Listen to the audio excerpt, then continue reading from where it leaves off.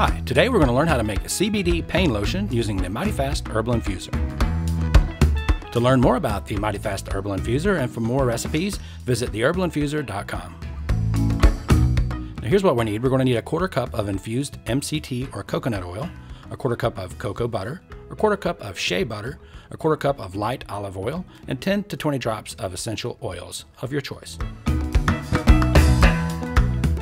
The first step is going to be to infuse the CBD into our MCT or coconut oil. So of key importance is to start with high CBD herbs.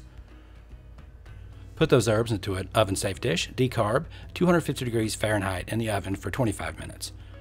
Once it's decarbed, we'll put the herbs into the hopper of the Mighty Fast Herbal Infuser, and then we'll add in our coconut oil or MCT oil. Either one would work for this recipe.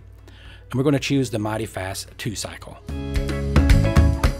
And in 90 minutes later, that's why they call it the Mighty Fast, we're going to have our infusion completed and our CBD oil is infused. We're going to pour that through the filter that's provided with the Mighty Fast Herbal Infuser, the hemp filter, and then squeeze that out using some gloves, squeeze out to refine it. And we'll, we'll have a lot more than what you'll need for this recipe, but then you'll be able to use that for lots of other recipes moving forward.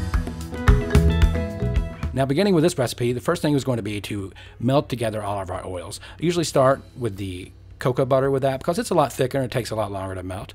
So start with that in a double bill boiler or into a heat safe dish like that into a water bath. So we're going to avoid the direct heat. We then put in our shea butter. Then we're going to add in our infused coconut oil as well as our olive oil. So once all four of our oils are combined together, we're going to let that melt together for about 25 minutes until it's all melted. And the next step is going to be to pour that melted oil all together carefully into a glass dish or into a heavy metal dish that's much larger than what you'd think you would need, but we're going to blend that.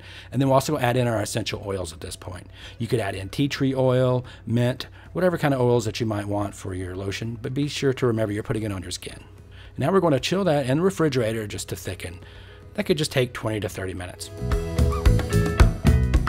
You can see our bowl is also very cold, and that's going to help us to incorporate the air into it. So what we're doing now is we're using a hand mixer on high, and you could use, also use a stand mixer if you want. And then we're going to whip air into it for several minutes, and you just keep whipping it until it stops becoming more opaque. Maybe take 10 minutes. And at that point, we're pretty much done. The last step is to pour it into your final containers and then to chill it overnight, to set it.